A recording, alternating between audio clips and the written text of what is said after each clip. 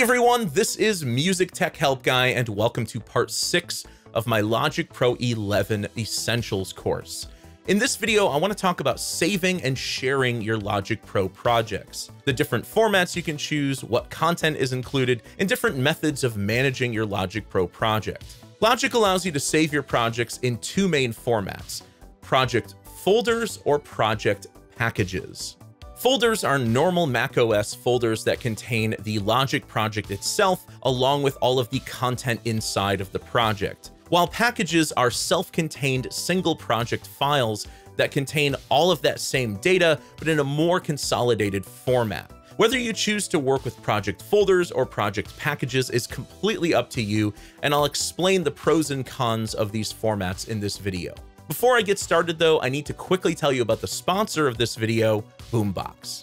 Boombox is the ultimate file storage and collaboration tool for musicians, artists, producers, and mix engineers. You can upload multi-tracks, mixes, stems, full DAW sessions, really any type of file can be uploaded to your projects and shared with your collaborators, who can then leave time-stamped feedback on your projects. In addition to file storage and sharing, Boombox has a full suite of collaborative, creative, and promotional tools. Create your own custom artist page to reach new fans and clients, tap into the power of Boombot AI, which is an AI-powered co-writer that can generate chord progressions and other MIDI musical ideas. It can even assist you with your lyrics, and it can split stems and remove vocals. If you want to check out Boombox for yourself, head over to boombox.io today and get 4 gigabytes of free storage.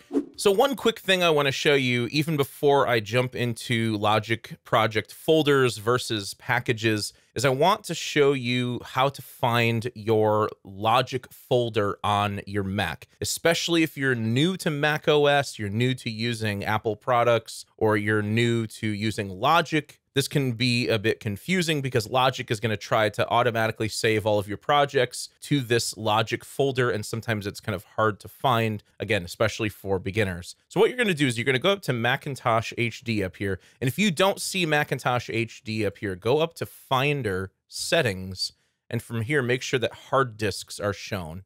From here, you're going to go to Users, you're going to select your username, and then you're going to go to Music. And in here, there's a folder that's titled Logic. I'm going to open this up, and inside you'll see that this is just packed full of Logic projects. This is the default location where Logic likes to save its projects. However, I really only use this folder as sort of like a place to kind of dump all of my Logic projects that I don't necessarily need to keep. Logic projects that are important to me will end up going in my projects folder that I've created here on the desktop, and then I'll back them up to one of my external hard drives. But plenty of people use the Logic folder as their main place to find all of their projects. So if you want quick and easy access to all of these projects in the Logic folder, you can drop the Logic folder over here on the sidebar, and this will just make it super easy to access all of your Logic projects. If you prefer saving your projects elsewhere, that's totally fine as well. Okay, so let's go through the saving options. So if you go up to File, you'll see there are a few different options here for saving. You have Save, Save As, and Save a Copy As. Save is when you want to save a project in the location it's already been saved into. So I've got this Logic project here. It's already been titled. It's already saved in a particular location. So this is just a simple save, you know, so you can hit Command S for that. That's when you don't want to change the location or change the project into some different format. So if you do want to change the name of the project or save it in a different location or save it in a different format, you're going to want to use the save as function, which is shift command S. So what this will do is it'll bring up this dialog. And by the way, if it's minimized like this, just click here to open it up like a full finder view. And as I mentioned earlier, you can save this to your logic folder here you can save it to the desktop. You can save it anywhere on your computer. For now, I'm just going to save this on the desktop here. And I'm just going to call this project package because I'm going to do one as a package and then one as a folder. Now down here, you can choose to organize your project as a package or a folder, and you can choose what types of files you want to copy into your project. Now, the most important one here is audio files. Everything else is pretty much supplementary because everything from here down is going to be stored on your computer in a different location as long as you've downloaded the full sound library. So if you're including all of these things every time, you're really just wasting space if you're just going to be using that project on your computer alone. However, if you're going to be sending a project over to a collaborator, another musician or artist, or you're going to be moving it over to another computer and you're not sure if that other computer or that collaborator has the full sound library downloaded, you can click include Apple Sound Library content and it'll include everything except for the movie files. And if you're working with movie, you can do that too. What I'm going to do is I'm, I'm going to include everything just as uh, proof of concept here. So let's start with a package. So we'll save this to the desktop here.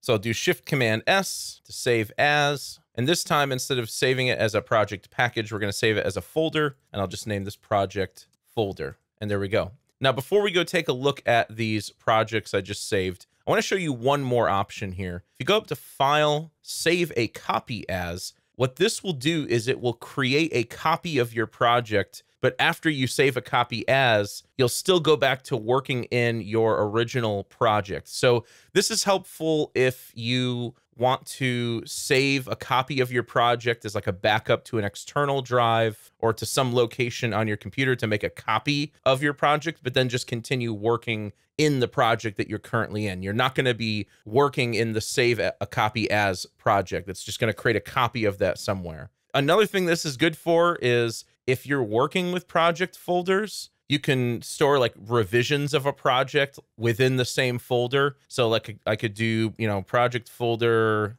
version two. And notice that uh, the option here is grayed out. You don't have a choice. And then I could do save a copy as project folder version three. So these could be, you know, different mixes or different revisions of a project or different versions of a project that you're working on. And you just want to store multiple Logic project files inside of a folder.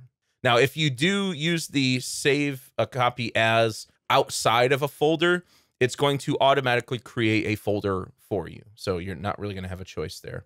Okay, so let's close out this project and let's go check out those Logic projects I saved. A quick way to close out Logic Pro and this really works for any uh, Mac application, is to hit Command Q, and that will ask if you want to save, and then we'll close out Logic Pro. Okay, so we're back out here on the desktop. Let's check out our project package and our project folder. Let's start with the project folder. So I'll open this up and you'll see the enclosing folder of the project. So what you're going to see are Logic project files. These are the actual Logic project files. And you'll see with the save a copy as function, I have a version 2 and a version 3. So you can store multiple revisions of a project within a project folder. So I find this really helpful when I'm working on a project or collaborating with someone step by step. Sometimes we need to go back a version. And so this makes it really handy to have those backups of older versions of the project.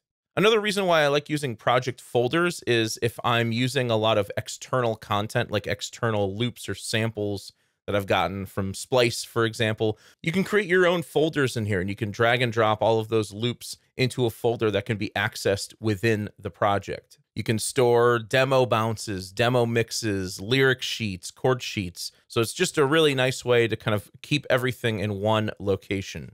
So I find folders are a better way to organize projects, but packages are generally going to be easier for sharing and collaborating with other producers or artists because everything is just wrapped up into one file. Now, inside of the project folder, you're going to see different folders within here. So for example, under audio files, you can see all of the audio files in my project. If I go to impulse responses, there's some SDIR files. These are impulse response files for the Space Designer Reverb plugin in Logic.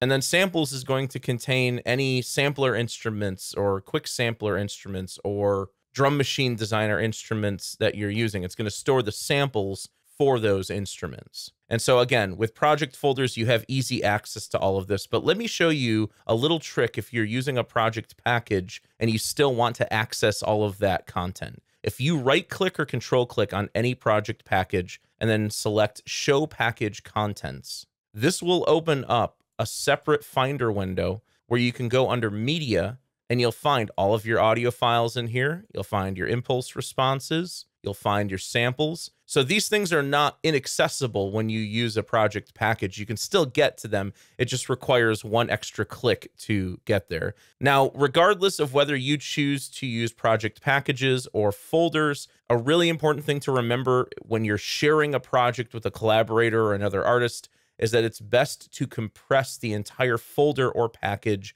as a zip file. And again, if you're new to Mac OS, what you're going to do is right click or control click on the folder or package and select compress.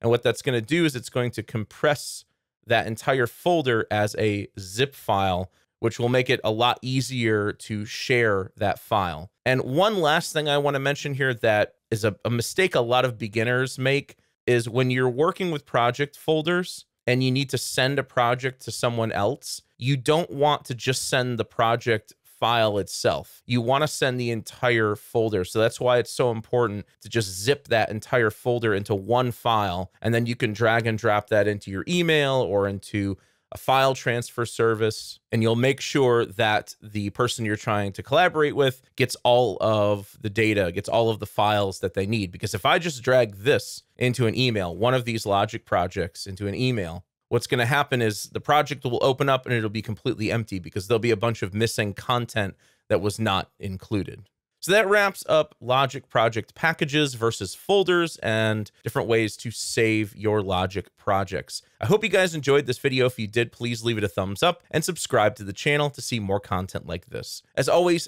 thank you so much for the support and thanks for watching.